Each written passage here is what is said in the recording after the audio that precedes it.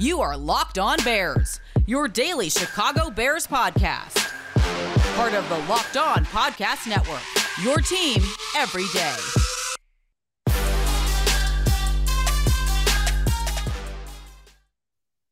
The Chicago Bears and Baltimore Ravens will likely employ similar strategies to disrupt the opposing quarterback. And it's going to fall on these two coaching staffs to figure out how to stay one step ahead have the proper adjustments for really what these defensive coordinators are going to be dialing up for potentially a more aggressive game plan. This is Locked On Bears, and I'm your host, Lorin Cox. I'm an analyst for Pro Football Focus and I'm here to bring you your daily, in depth Chicago Bears news and analysis. You can follow me on Twitter at Cox Sports One.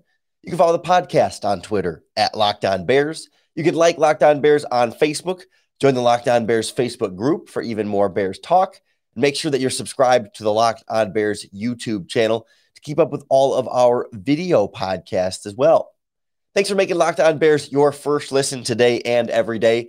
On the show today, we put together a game plan, what the Chicago Bears need to do in order to upset the Ravens, get back in the win column, end this losing streak, and turn around this post bye week struggling streak as well. So we'll go through what this Ravens offense is going to want to do against the Bears and how this Bears defense may want to adjust and attack Lamar Jackson, try and slow down a dynamic playmaker at the quarterback position. Then we turn and see how they're going to try and get in Justin Fields' head and make things difficult on him, and maybe some shades of the Browns game in terms of at least defensive game plan and how the Bears can avoid that level of offensive disaster. And then we'll wrap up with the the key matchups that I think are really going to decide this game in both directions. The places where the Bears have a big advantage that they need to take advantage of, and the places that the Bears have a particular disadvantage that I would imagine the Baltimore Ravens will try and take advantage of.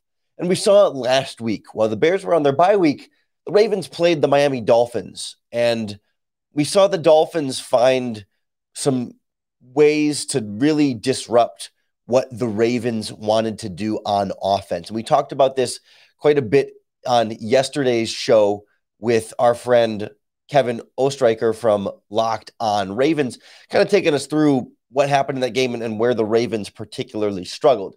And what the Dolphins did so effectively was go heavy blitz pressure on Lamar Jackson.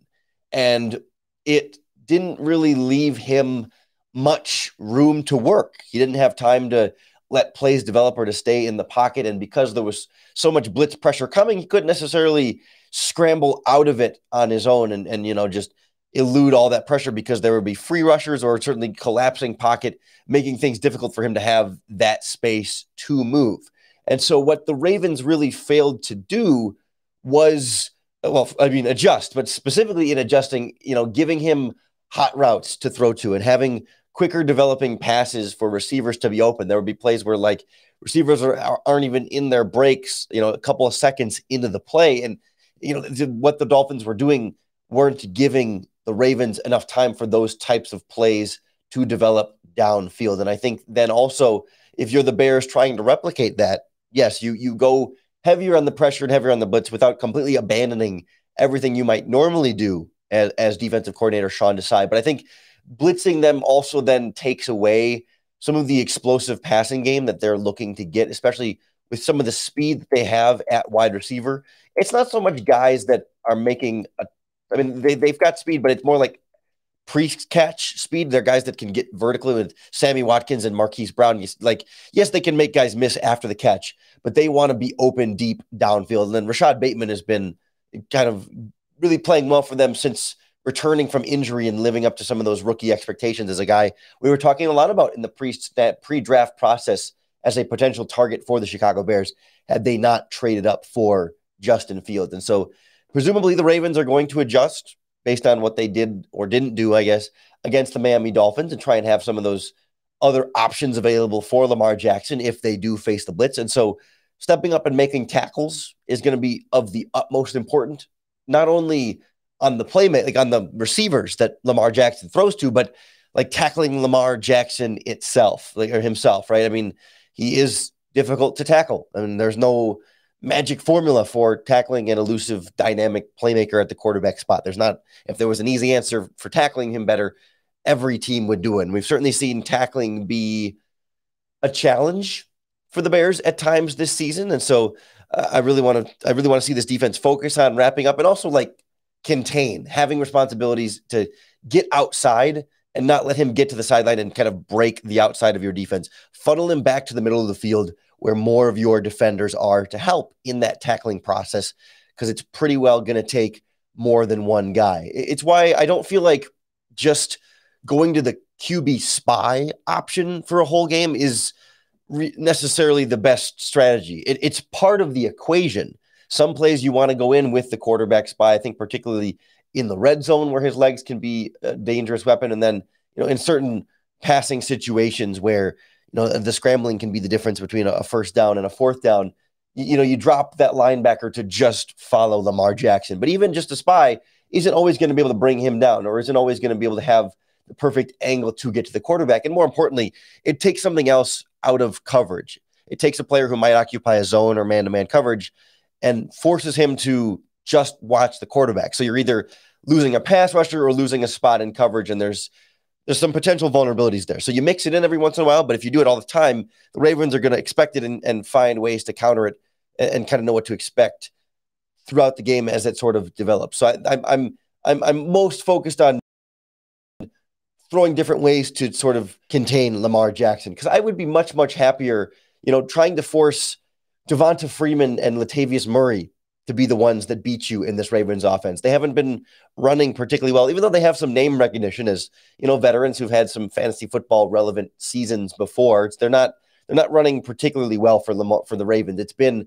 mostly the Lamar Jackson rushing offense. And so if I can kind of force them to have to be the guys that make the plays to beat me, I will prefer that over the MVP quarterback every single day. That's that's sort of where I'm looking to try and and neutralize what the Ravens would do. Again, it's not a it's, there's not a magic formula, and if it was as easy to do on paper, every team would do it. But that's sort of the, game plan that I would go into this game trying to trying to slow down this Ravens offense that has largely played well even outside of the the Dolphins game last week. But I, I think we'll see the Ravens defense just more naturally try and do some similar things to Justin Fields. We'll look at what Fields can do and kind of look at then taking a, a, a tip from what the Ravens were unable to do and how the Bears can kind of apply that to their own offense next on Locked On Bears.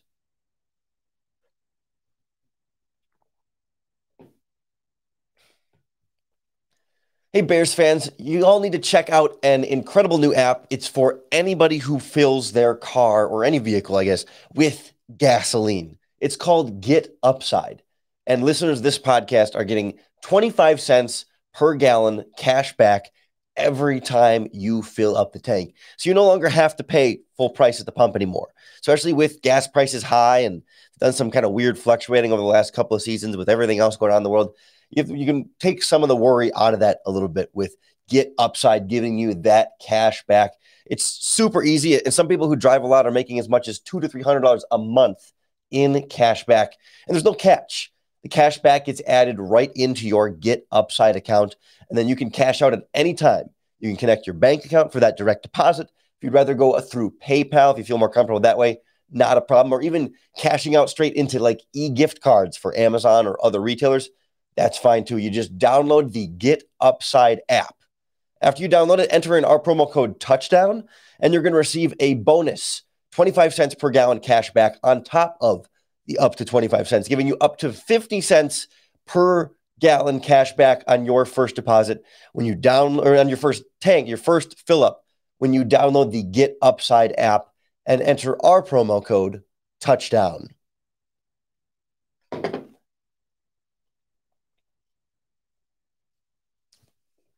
The Chicago Bears definitely need more touchdowns against the Baltimore Ravens.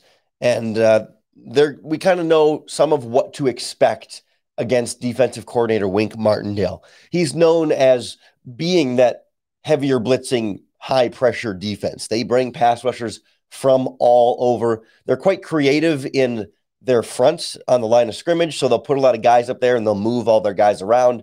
And it's not really clear always who is going to come from where, but you can't expect extra guys to be coming quite a bit more so than many other teams in the NFL. And that's a common strategy against rookie quarterbacks in general.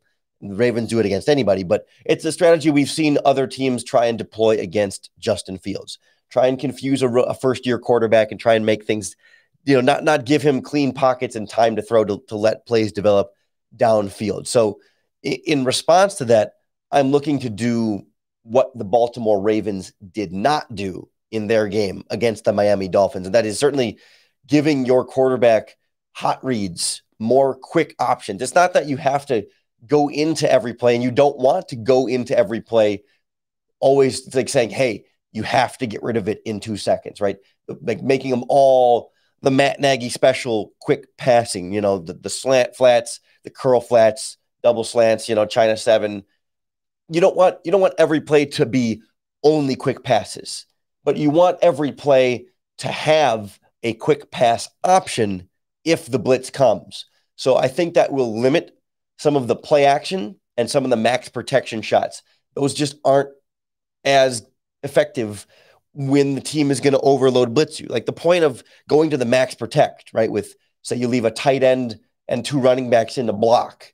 The idea is to give you an advantage in the blocking versus the pass. So you can get more double teams, fewer one on ones, and have a cleaner pocket for longer for your quarterback. But if you're going to the max protect and they're blitzing as many guys as you're blocking, it's not as likely to hold up for as long to let those longer plays develop. And max protect plays don't come with those hot reads. So you're, you're not going to let, you're not going to be able to always let as many of those plays kind of develop downfield. And so you need to have one of the running backs flaring out or a tight end of the flat or something somewhere on every single play.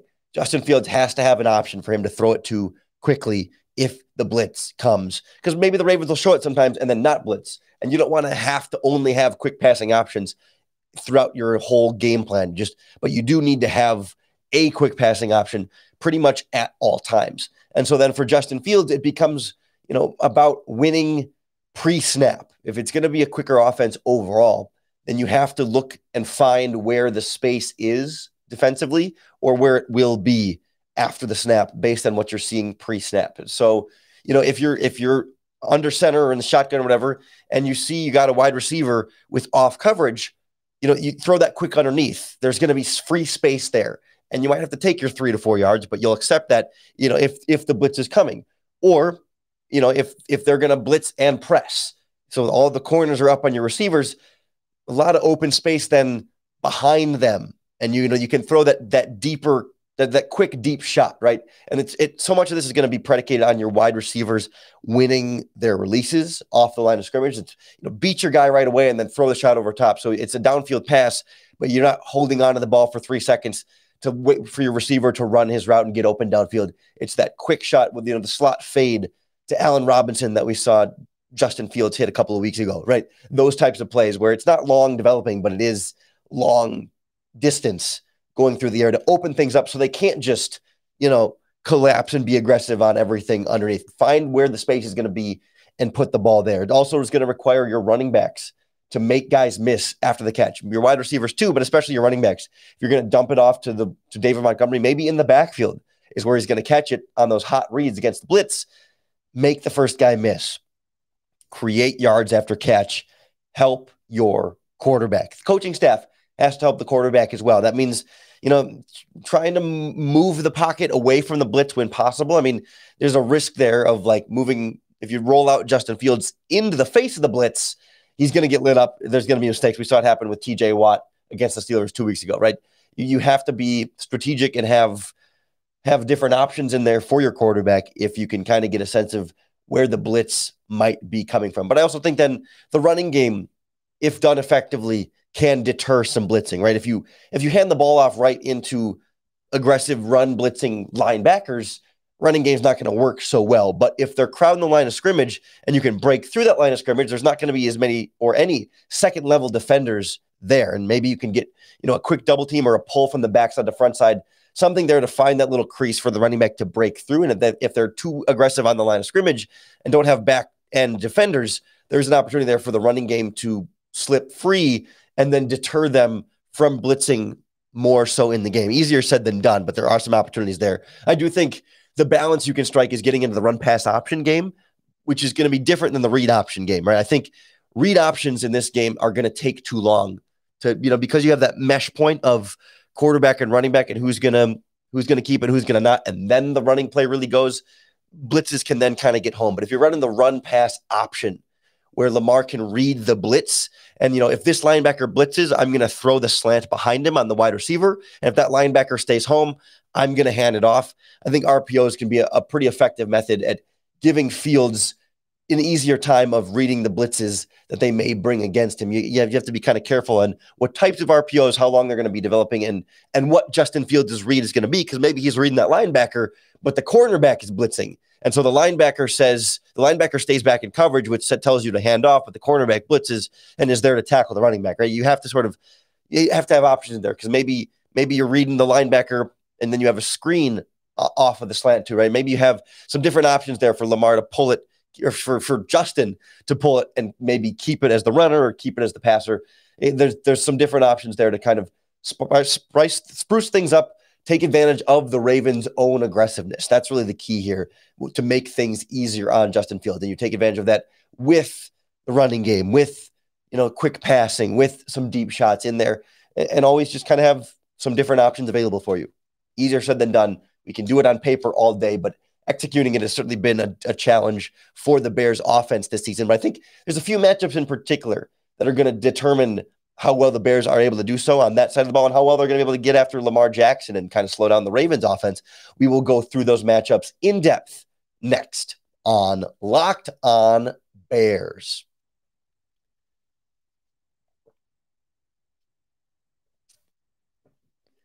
If you haven't tried a built bar by now, you are missing out because it is the world's best tasting protein bar, in part because it doesn't taste like other protein bars. You know, the other bars tend to be kind of chalky or waxy or kind of have that protein powdery taste that's just hard to kind of choke down. But built bars taste like candy bars. They're soft, they're covered in 100% real chocolate. When you bite into it, you know you're tasting something different. It's it's really a treat every day for me. I, I kind of limit myself to one a day. Otherwise, I'm going to go through my box way, way, way too fast because they're low cal, they're low calorie, low sugar, high fiber, high protein.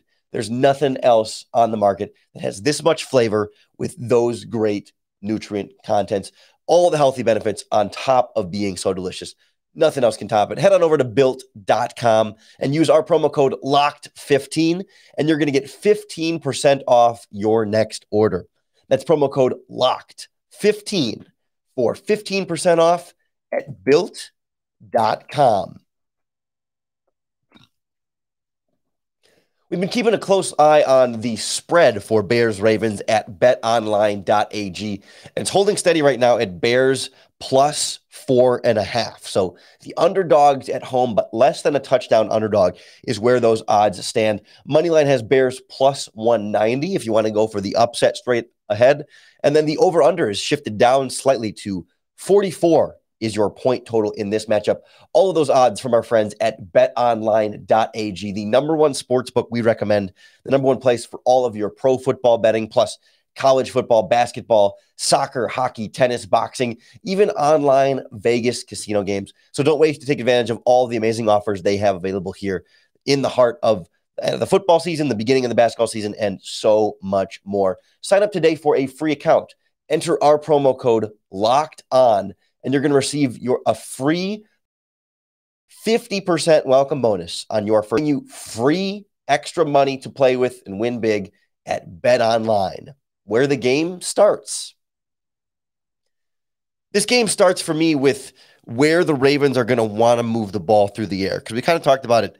You know, running backs, they've had injuries at running backs, and so they're on veterans that they've pulled in off the street. And I would rather let them kind of beat me in the ground game because otherwise it's going to be Lamar Jackson. But in the passing game, Tight end has always been a, a, featured part of this Ravens offense under Greg Roman. And really this season, Mark Andrews has kind of been the go-to weapon over the middle for Lamar Jackson, especially if you know they try and get rid of the ball more quickly against the potential Bears blitz. I think the tight end safety blanket thing is definitely going to be a role here for both offenses, and we'll get more into that in just a second. But I, I, I have concern about Mark Andrews with the Bears against Danny Trevathan or Alec Ogletree.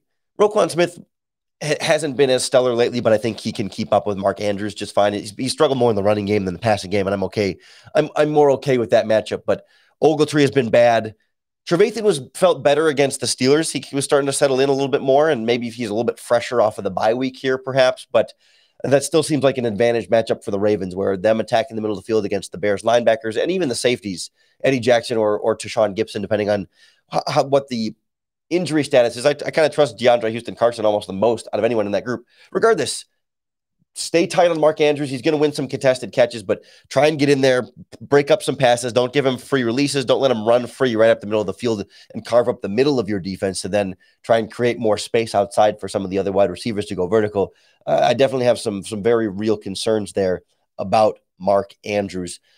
On the other, but alternatively, if I'm looking at where uh, I want to attack Lamar Jackson and really this Ravens offensive line.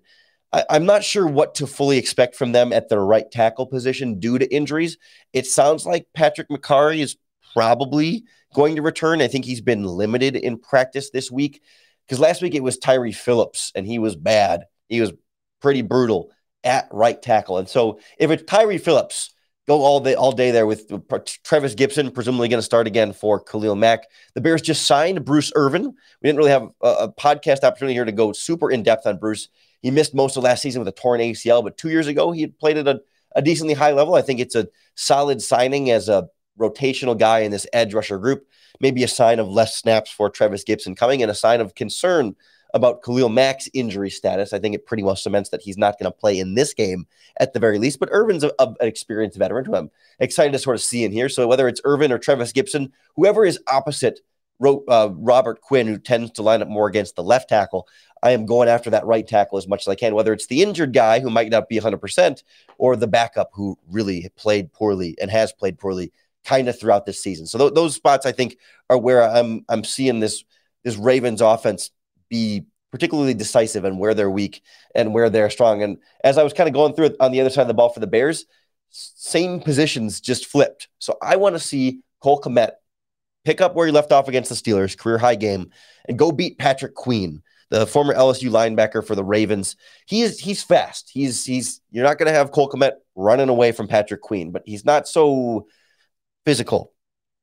And I want my big body Notre Dame tight end to win those tough catches against Patrick Queen in coverage. Again, it's not about separating. It's just about having enough of a window to fit the ball in there, you know, up, up here where Cole Kmet can reach it and Patrick Queen cannot, and then just be bigger and stronger than him because he definitely is bigger and stronger. So go out there and play like it, prove it again, and keep picking up on a lot of what you were able to do last week against the Steelers. Because, like we talked about with Mark Andrews, if they're going to blitz Justin Fields, which I'm expecting more blitzing of Fields than the Bears blitzing of Lamar Jackson, that safety blanket tight end over the middle of the field. You know, just the quick, whether it's a quick curl, quick drag, quick up the seam, something that tight end over the middle is going to be a, a, potential safety blanket there for Justin Fields on top of other potential options there. But I want to see a more dynamic middle of the field offense, maybe filling where some of those blitzers may be leaving potential space for guys to have to kind of get over to the tight end there. So Cole Kmet, I'm definitely signaling. But then, you know, with this Ravens pass rush against this Bears offensive line,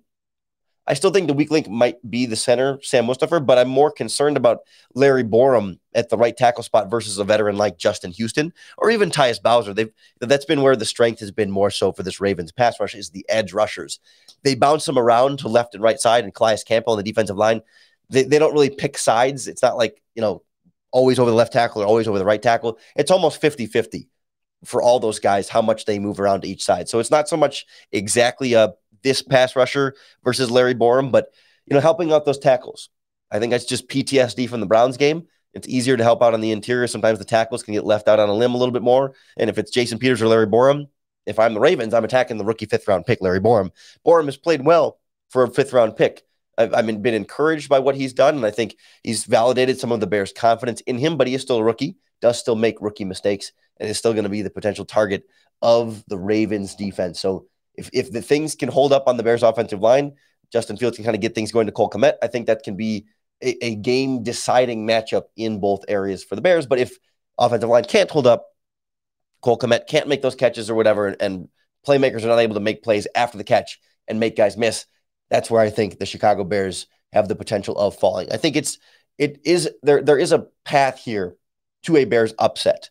It's a six and three Ravens team. They're a good team. The Bears are not expected to win. I'm not expecting the Bears to win, but you can kind of see, you know, so, some proper defensive blitzing and then some proper counter to the Ravens blitzing, and all of a sudden you can find a, a way here where Justin Fields maybe that late touchdown drive is enough this week as opposed to not being enough because of the defense last week against the Steelers. Excited to see how this game plays out. You can be sure we'll break it all down for you on Monday right here in the Locked On Bears podcast. So subscribe on however you're listening or watching right now. That's going to be the best way to keep up with all of our daily in-depth Chicago Bears news and analysis. Thanks for making Locked On Bears your first listen today and every day. We're here for you five days a week. If you're looking for your second listen, don't forget to check out our Locked On Bets sports betting podcast. They've been hot. Lee and your boy Q getting you all the best odds across all of sports. And he gives these locks of the week, his upset alerts, and so much more. So check out Locked On Bets, part of the Locked On Podcast Network, your team every day. We are Chicago Bears every day here on Locked On Bears. And I hope that makes it easier for you to bear down.